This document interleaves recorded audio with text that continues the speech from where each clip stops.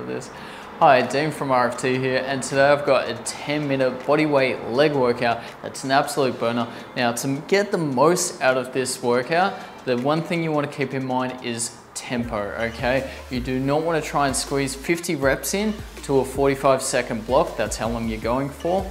You want to take a nice steady tempo, control motions, like you'll see in the exercises here. Now, the first exercise we got is we're going into squat to calf raise, Okay, nice, steady. Then we got the Cossack squat. Now we're going on the left side first. We got the right side, and then we got our slow tempo squats, okay? Trying to do a one, two, three, down and then coming up. I know this is not a favorite with the guys, but guys, you really should be doing this one more, is the curtsy lunge. And then we're doing the curtsy lunges on the right side. After that, we're heading down to the ground for hip thrusters, holding with a pause at the top there for three seconds, just a one, two, three count. For the last exercise, left side first again, is the back and forth lunge. Over the right side, back and forth lunge, all done. If you have done it properly, done it with a nice, steady, controlled tempo, legs are gonna be burning.